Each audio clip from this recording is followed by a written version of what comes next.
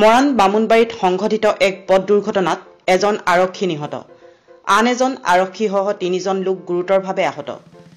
দেওবাৰে নিশা ডিব্ৰুগড় জিলা বামুণবাৰী আৰক্ষী চকীৰ অন্তৰ্গত লেঙেৰীৰ ওচৰত এখন স্কুটি আৰু বাইকৰ মাজত হোৱা সংঘৰ্ষত এজন আৰক্ষী নিহত হোৱাৰ লগতে আন এজন আৰক্ষীসহ মুঠ তিনিজন লোক গুৰুতৰভাৱে আহত হয়।